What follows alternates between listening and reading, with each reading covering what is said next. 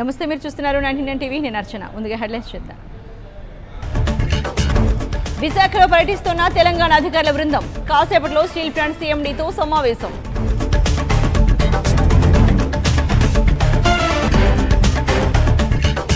తెలంగాణకు వచ్చి చూస్తే ఏముందో తెలుస్తుంది. మంత్రి కారుమూరి వ్యాఖ్యలకు హరీష్ రావు కౌంటర్.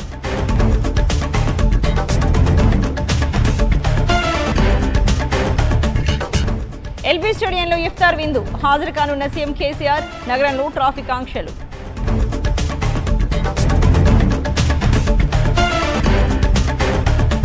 టీడీపీ ఆఫీస్పై దాడి చేసిన ఏ రౌడీని వదిలిపెట్టాం. వచ్చే ఎన్నికల్లో విజయం తమదేనన్న చంద్రబాబు.